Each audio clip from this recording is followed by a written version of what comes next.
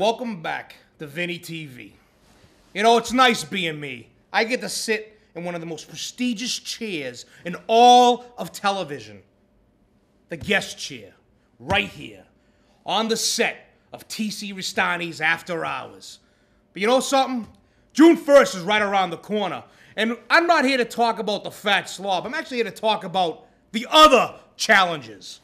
You know, you idiots out there who think you have a chance. Let's start with the, the first challenger. I- I'm going to call him the Cheese It, Eat It, Beat It, No Good, No Talented Quincy. You know something, Quincy?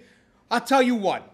You can go eat all the Cheez Its you want, then go drink some root beer, then maybe go down the street and get a haircut and get a slice of pizza. Because you know why? Because that's what you're going to be doing come June 1st.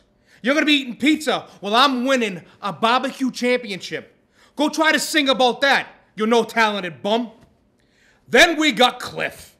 Who the hell wants to eat cigarettes at a barbecue championship? Really?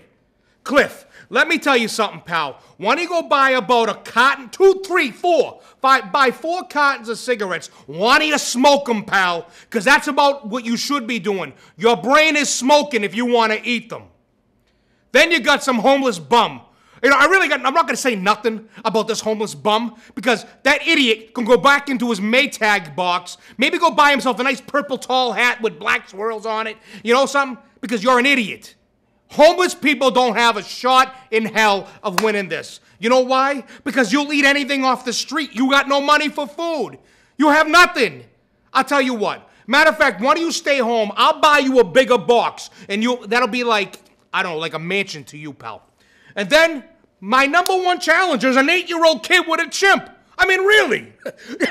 do, do you people see what I'm talking about here? There is no challenge for Bull Montana. It's me. I'm the challenge. I, Bull Montana's not even a challenge. You, Bull, know what you need to do, pal? I'm gonna tell you something. You and the eight-year-old kid should like practice together because the chimp could probably eat better than him.